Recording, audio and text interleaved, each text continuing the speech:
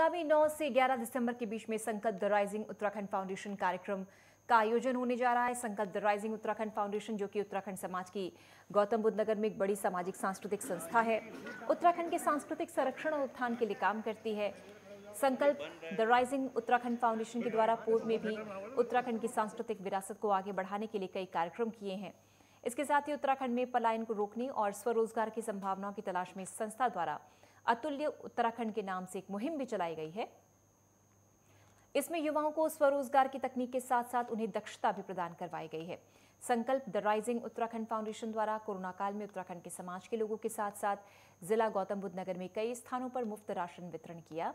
साथ ही free vaccination camp भी लगवाए गए। उत्तराखंड महोत्सव का कार्यक्रम तीन दिवसीय कार्यक्रम होगा।